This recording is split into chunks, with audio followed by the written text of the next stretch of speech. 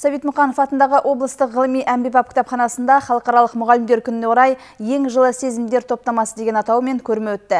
Кітапханаға келушілердің назарына ЮНЕСКО көркемсурет мектебінің педагогтар салған әртүрлі жанрдағы 26 картина қойылды. Атап айтқанда ұстаздар пейзаж, натюрморт, ұлттық стильдегі панельдер және киізден жасаған туындыларын көрермен назарына ұсынды. Картина авторлары өз еңбектерінде қоршаған әлем туралы көзқарастарын бейнелеп, өз халқының шығармашылығына отбасына, туған өлкөсіне, табиғаты мен мәдениетіне деген сүйіспеншілігі туралы айтты.